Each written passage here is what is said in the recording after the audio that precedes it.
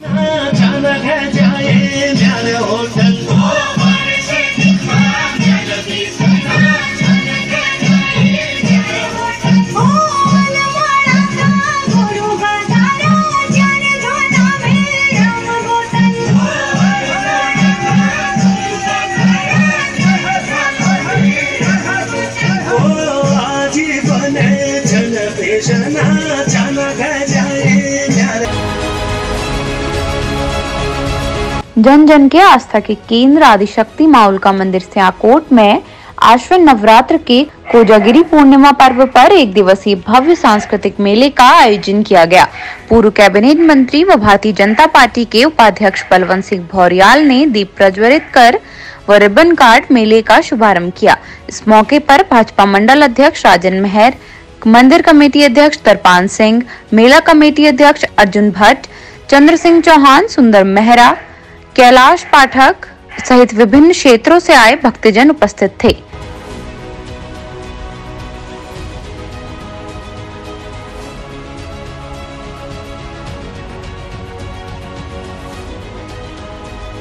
CC news के लिए bureau report Bageshwar.